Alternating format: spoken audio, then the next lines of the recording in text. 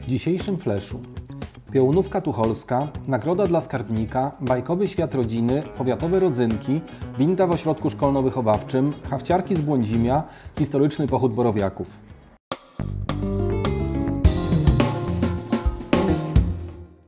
Minister Rolnictwa i Rozwoju Wsi wpisał piołunówkę tucholską pani Marzeny Przytarskiej z Przyrowy na listę produktu tradycyjnego.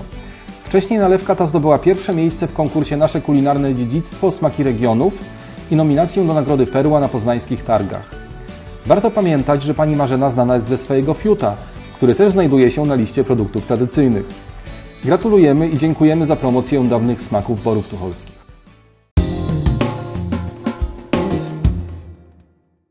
Skarbnik Powiatu Tucholskiego Zofia Łącka zajęła drugie miejsce w rankingu skarbników 2019 przeprowadzonym przez Dziennik Gazety Prawnej.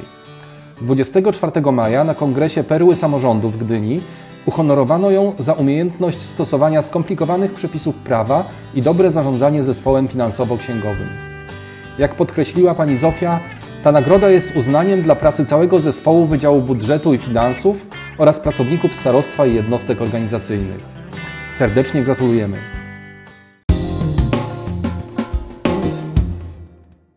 Dwudziestego 26 maja przy kolorowym zakątku w Tucholi dzieci i dorośli wspólnie bawili się na pikniku z okazji Dnia Dziecka, Dnia Rodzicielstwa Zastępczego i na przeglądzie twórczości osób niepełnosprawnych. Moc bezpłatnych atrakcji przyciągnęła szczególnie dzieci, ale rodzice też znaleźli coś dla siebie. Stoisko PCPR w Tucholi czy stoisko Muzeum Borów Tucholskich cieszyło się dużym powodzeniem. Zbiórka publiczna na małego Wiktora pomoże mu w lepszym leczeniu.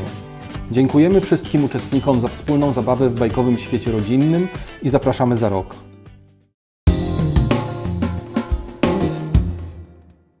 Marszałek województwa kujawsko-pomorskiego przyznał dwom inicjatywom z powiatu tucholskiego nagrodę Rodzynki z pozarządówki. W gronie 12 laureatów konkursu na najlepsze inicjatywy społeczne realizowane przez organizacje pozarządowe znalazło się Święto Grzyba 2018 organizowane przez Stowarzyszenie na Rzecz Ekorozwoju Sołectwa Krzywogoniec i Sztafeta przez pokolenia Borowiackiego Towarzystwa Kultury. Warto zauważyć, że obie nagrodzone przez marszałka organizacje otrzymały w tym roku dotację z powiatu tucholskiego na kolejne działania na rzecz lokalnej społeczności. Gratulujemy laureatom i dziękujemy im za ich wkład w rozwój społeczeństwa obywatelskiego na terenie powiatu tucholskiego oraz za promocję borów tucholskich i ich mieszkańców.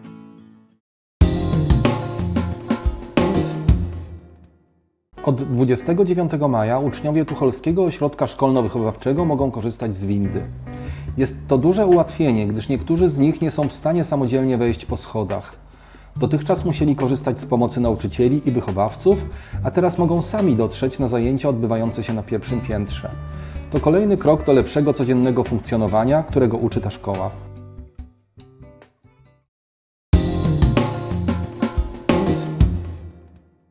Dwudziestego 22 maja panie z KGW Błądzimianki zakończyły kurs haftu kaszubskiego Szkoły Borowiackiej i Tucholskiej.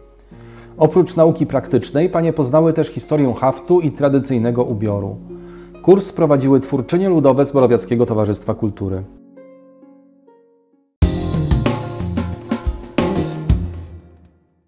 Dwudziestego 28 maja Komitet Organizacyjny Historycznego Pochodu Borowiaków omawiał szczegóły tegorocznej edycji tej imprezy.